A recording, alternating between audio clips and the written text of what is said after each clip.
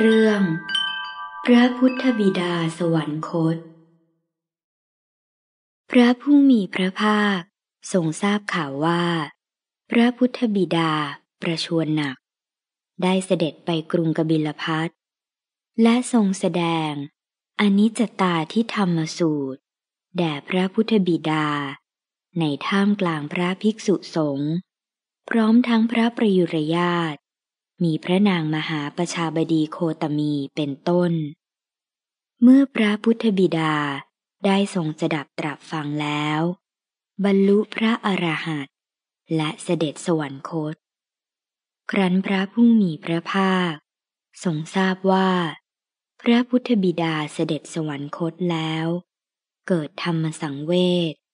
จึงตรัสกับภิกษุทั้งหลายว่า ท่านทั้งหลาย จงมองซึ่งพระพุทธบิดา อันสวรรคตแล้ว อันว่าความตายนี้ไม่เว้น ย่อมทำลายชีพแห่งสัตว์ ทั่วสิ้นเป็นธรรมดา จะเลือกหน้าก็หามิได้ ในขณะนั้น พระประยุรญาตและพระบรมวงศานุวงศ์ต่างก็โศกาพิลาปริเวทนาการ พระผู้มีพระภาค ทรงตรัสระงับความโศกา ด้วยพระธรรมกถาอนิจจกถา แล้วทรงตรัสเรียกท่านพระมหากัสปะเทระ ให้เป็นธุระในการจัดเตรียม ที่จะถวายพระเพลิงพระบรมศพ คือจิตตกาทานว่าตถาคตกำหนดจะถวายพระเพลิง พระมหาบอพิษพุทธบิดา ขอให้ท่านหาสถานที่อันควร แก่การชาปนกิจนั้นเถิด ท่านพระมหากัสปะรับพุทธดีกาแล้ว พร้อมกับทั้งภิกษุและกษัตริย์สากยะราชวงศ์พร้อมหมู่มหาชน ก็ไปสู่สถานที่อันควรจะกระทำการถวายพระเพลิง แล้วจัดแจงทำเชิงตะกอนในขณะนั้นมีเหล่าเทพเทวดาในหมื่นโลกธาตุ มีเท้าสักกะเป็นประธาน ได้นำทิพกุดาคารอันประกอบด้วยยอดห้าร้อยยอด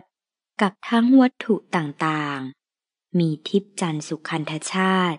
มาร่วมทำจิตตกาทานด้วย เมื่อพระมหาเถระทำจิตตกาทานเสร็จแล้ว ก็กลับไปกราบทูลพระผู้มีพระภาคให้ทรงทราบพระผู้มีพระภาค ก็ทรงประกอบพิธีสงน้ำพระบรมศพ โดยทรงยกพระเศียรศพพระบิดา ด้วยพระหัตถ์ของพระองค์ แล้วทรงนำน้ำสุคนสงพระบรมศพ พลางตรัสกับท่านพระสารีบุตรว่า บุคคลใดมีจิตปรารถนาพระโพธิญาณ จงอุตสาหะ อภิบาลบำรุงบิดามารดา ประพฤติกุศลสุจริตธรรมจักสมปรารถนาทุกประการ ท่านพระสารีบุตรก็ส่งน้ำพระบรมศพเช่นเดียวกัน หลังจากที่ส่งน้ำพระบรมศพแล้ว พระผู้มีพระภาค ก็ทรงยกพระบรมศพพระบิดาใส่ลงในหีบแก้ว แล้วทรงยกพระหีบศพด้วยพระองค์เอง ไปสู่จิตกาทาน ต่อจากนั้น เท้าสักกะ ก็ทำการประทักษิณพระบรมศพรอบจิตกาทาน เสร็จแล้ว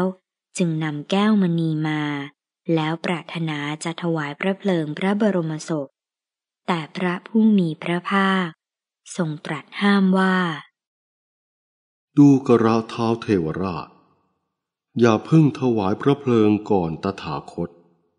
เราจะทำการชาปนกิจพุทธบิดาก่อนท่านทั้งปวง แล้วทรงถือแก้วมณีโชตจากพระหัตถ์เท้าสักกะ มาจุดพระเพลิง เหล่าเทพอันมีเท้าสักกะเป็นประธาน ก็ถวายพระเพลิง พร้อมทั้งขัตติยวงศ์สากยราช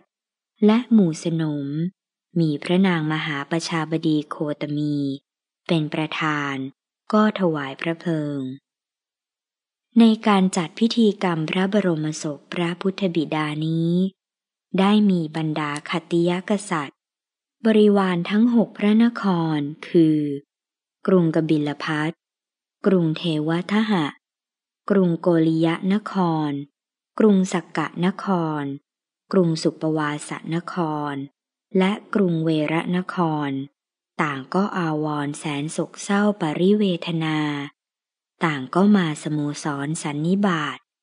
ต่างประกาศร่วมกันทำเรื่อง พระพุทธบิดาสวรรคต จบ